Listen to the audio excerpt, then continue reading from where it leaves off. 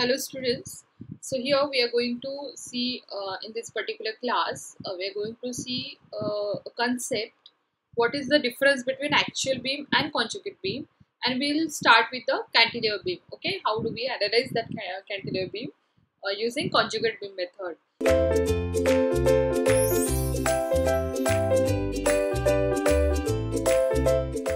So previous classes we have discussed about uh, simply supported beams okay? So here uh, let's uh, start with the cantilever beam. So uh, we are going to see what is the relation between an actual beam and the corresponding conjugate beam for different end conditions. Okay. So let's see one by one.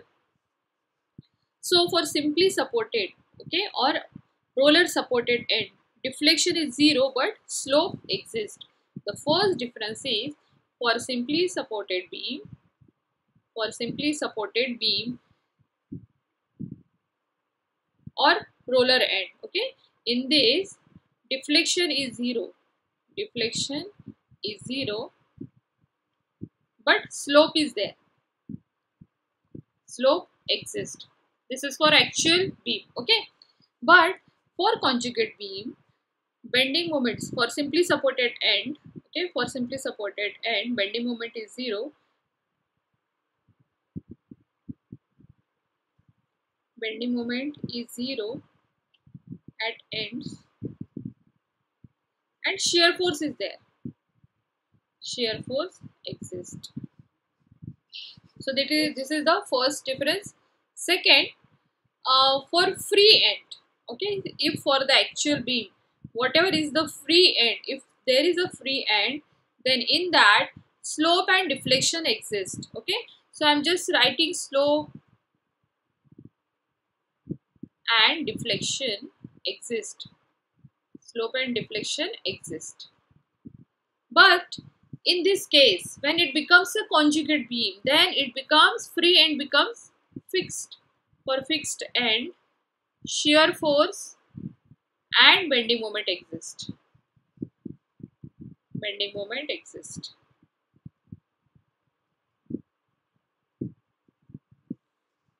Now, for actual beam, when it is fixed end, for actual beam, when it is fixed end, slope and deflection are zero. Okay, slope I am just writing it in a theta and y.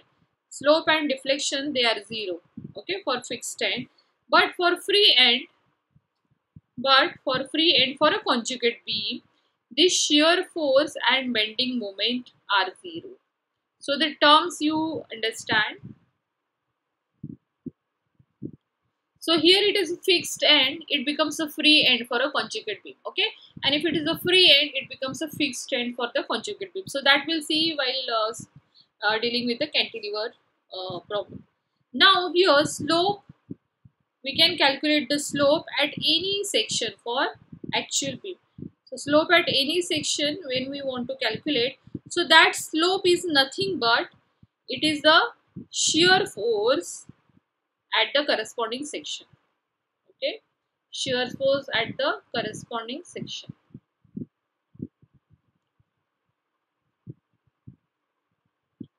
So for a conjugate beam, wherever we calculate shear force that is actually slope for the particular beam.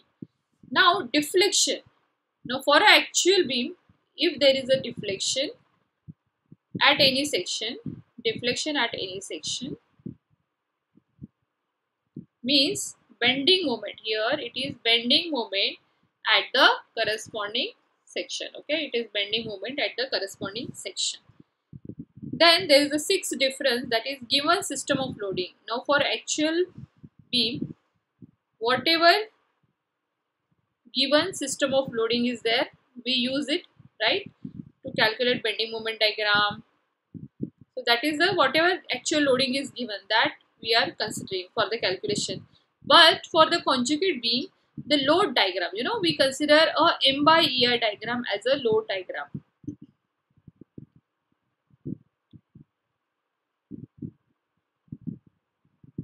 M by er diagram as a load diagram we consider. The seventh number is bending moment diagram it is positive. For the actual beam bending moment diagram is positive. It is sagging. This is specially true for the simply supported beam. And here m by e diagram is positive.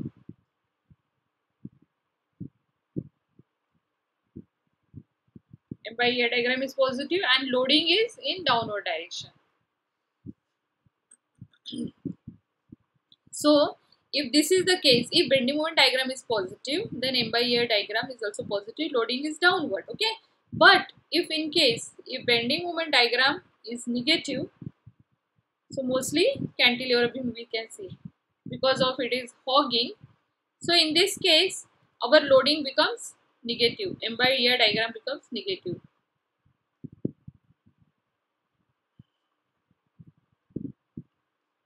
So in this case, loading is upward okay? So for the actual beam these are the differences. For the actual beam and the conjugate beam okay? For the actual beam whatever beam we are is given and then we convert it into bending moment diagram.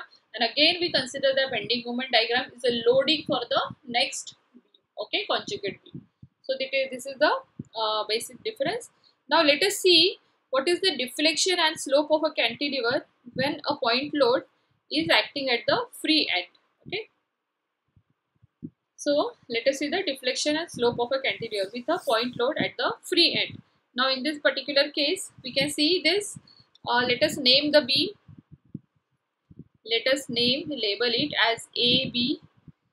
This is the load W. This is our actual beam. Okay, this is the actual beam. Now for this particular beam, it is a cantilever. We can see one end is fixed other end is free. So it is a cantilever and it is carrying a point load at the free end. Now for this particular case, bending moment is 0 at the end B, right? Bending moment will be 0 here. And bending moment at A, what is the bending moment at this point? It is nothing but load into perpendicular, perpendicular distance. Suppose the span is L, okay? So load into perpendicular distance, that will be the bending moment here at the end. So we can write it as W into L, okay, load into perpendicular distance. So this is the bending moment diagram as shown in figure. Now the conjugate beam, okay, this we have done with the bending moment diagram. Now we have to draw a conjugate beam. So the conjugate beam can be drawn by dividing the bending moment at any section by EI. So this is our actually conjugate beam and we call it as M by EI diagram. Okay, M by EI nothing but it is a conjugate beam. This is our conjugate beam. So, the conjugate beam can be drawn by dividing the bending moment at any section. Now, let us name the conjugate beam. So here, it uh, this particular diagram, we can see uh, that this end was fixed here, okay, and this was free. But for conjugate beam, this is fixed. So just uh, observe the change carefully, okay. This is our conjugate beam. Let us name it as B star and let us make it as A star and C star, okay. And this bending moment will be as it is WL but it is M by EI. So WL by EI. So the important change, okay. And loading will be upward direction here. So these are all upward direction. So bending moment is diagram is negative here, okay, and our loading is in upward direction. So if we can relate with the just uh, theory I, I had uh, referred uh, before coming to this topic, okay.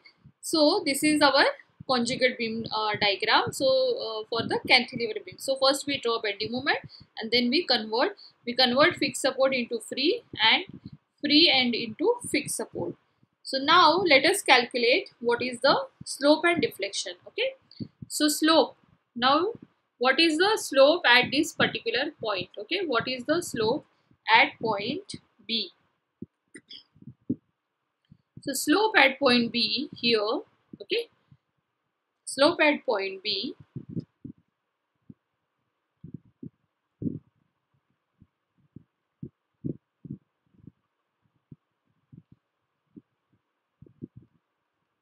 For a cantilever beam. For a cantilever beam. And YB is deflection at B for the cantilever beam.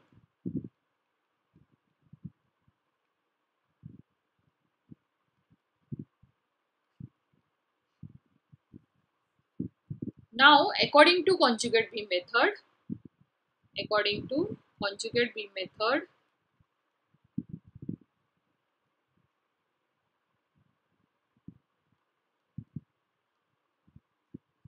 theta b theta b is equal to shear force shear force at b star shear force at b star for conjugate beam shear force at B star for conjugate beam. So what is the shear force? How do we calculate? This is a fixed end now. So shear force is nothing but area of the triangle B star, A star, C star. Okay. So it is nothing but total area that is load or area, area of triangle that is B star, A star and C star so that is the load we have to consider. What is what is that area of the triangle? Half into a star b star into a star c star.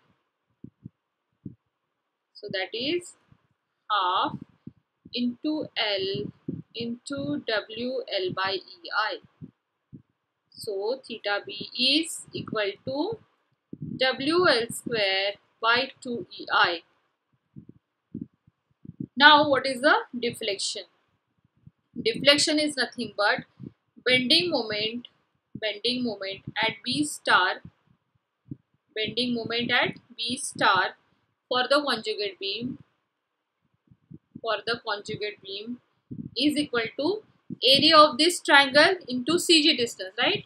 Area again, area into CG. For this triangle, CG will be placed over here so we need to know what is the CG distance. It will be two third, third of the span.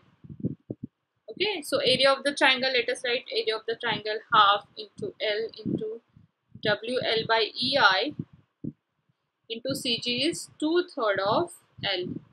So we are done with the deflection that is WL cube by 3 EI. Okay. So this way we have completed the slope and deflection for a cantilever beam when pointed acting. So what steps you should remember to convert this cantilever beam into conjugate beam. Okay. So we uh, actually the fixed end we may uh, free end we make it as fixed and the uh, fixed end we make it as free. Okay. So student I hope this uh, concept is clear to you and uh, the next class we are going to solve the problem on this based on this concept. Thanks for listening.